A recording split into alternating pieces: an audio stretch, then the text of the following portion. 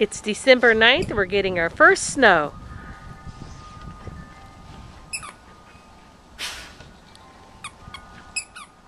I don't know how much we're going to get, but it's pretty.